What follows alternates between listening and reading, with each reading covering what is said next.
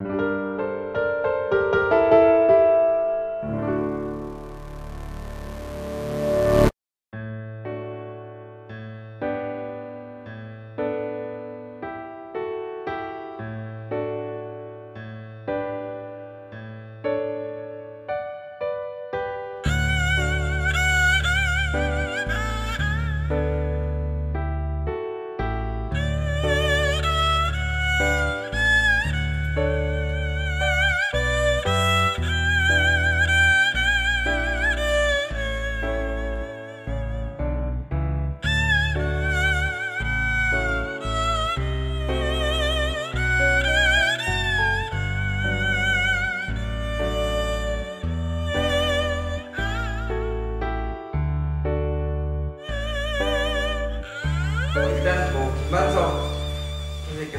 거람이라고 쓰고 계시고요. 그 다음에 1955년 1월 5일 생이시고 부산 상고를 1974년에 졸업하시고 제일은행에서 24년 정도 근무를 하셨습니다.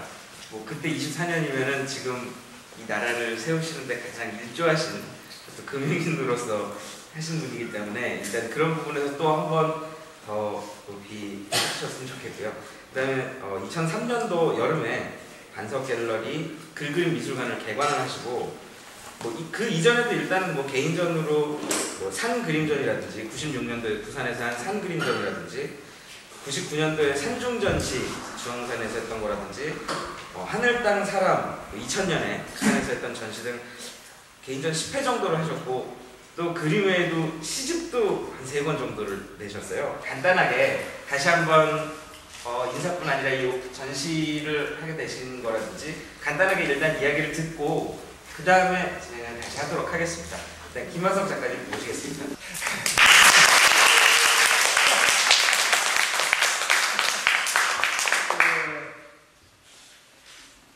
모든 게 이게 타임이고 어떻게 보면 이게 만남 같은 순간인데 오늘 이런 것 또한 사실 조금 전에 마이였으면 훨씬 어떤 열기라든지 긴장도가 클 텐데 지금 이게 헤어짐이 조금 지는 시간 그런 느낌이고 대신 여러분들의 날카로운 날카로운 질문을 기대하겠습니다. 한 가지씩 고맙습니다.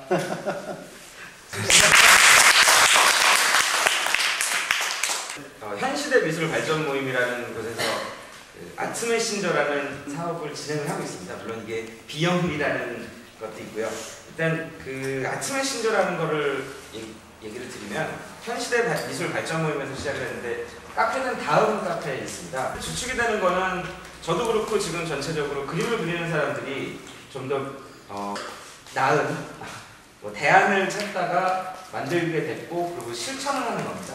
실천을 위해서 그 이상을 실천하기 위해서 좀 더 발로 뛰어다니고 다른 어떤 대중매체나 혹은 다른 갤러리도 중요하지만 일단은 작가 자신들이 자기의 작품을 알리고 좀 더 참여를 해야 된다라는 그런 것에서 그런 취지에서 시작을 했고요.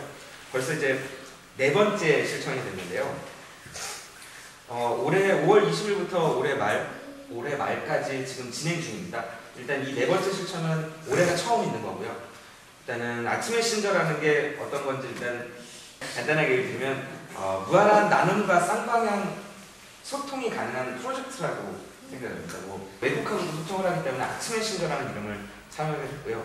그다음에 일단 가상 공간에서 요즘 인터넷이 많이 보급이 됐기 때문에 가상 공간을 매개로 일상과 생활의 공간 속에서 어, 시각 예술의 상호 연관성을 확대시켜서 예술이 사회적으로 기여할 수 있게 하는 융합, 융합형 소통 시스템을 구축하는 게 저희가 하는 일입니다. 어, 그거의 주축은 뭐 어떤 기획자라든지 다른 사람들이 아니라 그거에 참여하는 사람 역시 그 그림을 그리는 작가들이고 또 일반적으로 직장 생활을 하시는 분들도 참여를 하고 계십니다. 꼭 그림을 그리는 사람만이 참여를 하는 게 아니라 뭐 어떤 경제 활동을 하시는 분이라든지 또 집에서 가사 일을 보시는 분들 모두 다 참여를 하고 계십니다. 일단은 간단하게 이 정도고 김반석 작가님이 뽑히시게 되신 거는 저희는 그 올해 4월 25일부터 5월 15일까지 작가 공모를 했습니다. 지원하신 분들 중에 추리게 돼서 12분을 추리게 됐고요. 그 중에 네 분을 지원하게 됐어요. 일반 꼭 그림 그리는 사람 외에도 다른 분들한테 추천을 했는데 김만석 작가님께서는 교사, 공무원 계층에서 어, 4년 1위를 하셨어요. 작가와의 대화라고 해서 너무 거창한 것보다는 소소한 질문까지 어, 할 수 있는 물론 철학적, 철학적인 깊은 것도 좋고 예술적으로 그림의 작품에 대한 것도 좋지만 정말로 이렇게 그런 질문을 할 수 있잖아요. 경제 생활은 어떻게 하시나요? 뭐 이런 질문도 있을 수 있고 다시 한번 모시고 어, 질문을 받도록 하겠습니다. 네, 박수로 먼저. 24년 동안 은행원 일을 하셨다고 들었는데요.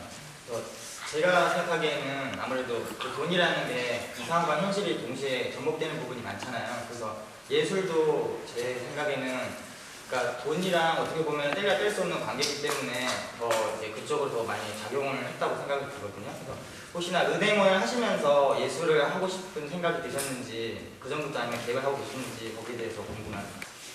지금은 참 은행이 아름답고 모두 가고 싶어하는 직장인데 그 이유 중에서 결국은 경제적 수입이 높기 때문에 그렇지 않느냐 뭐 그런 건데 제가 다닐 때는 그렇게 경제적 수입이 뭐 상대적으로 높지는 않았어요. 그냥 일반적이었고 다만 좀 안정적이었다는 거.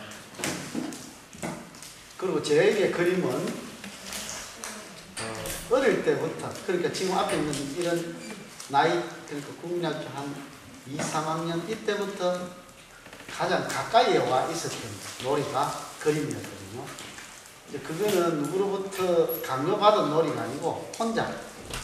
그럼 직장 생활은 사실은 가정이나 아니면 뭐 세상 속에서 자기 역할을 강요받은 자리 직장 생활이 아니고 시간이 나면 저는 이제 그림을 그렸고 언젠가는 내가 그런 자유스러운 시간 속에 갈 것이다.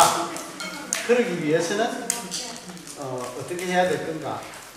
그래서 늘 이제 경제적인 아까 말씀하시는 어, 경제적인 그런 부분을 미리 준비를 한 거죠. 나름대로 어, 넉하지는 않더라도 아이를 놓는다. 그러면 그 아이가 성장해서 자기 생활을 갈 때까지는 한 몇 년 정도 시간이 있을 것이다. 얼마만한 비용이 필요하다. 그럼 내가 지금 어느 정도 준비를 하면 되겠다. 그 뒤에 나의 생활은 어떻게 할 것인가.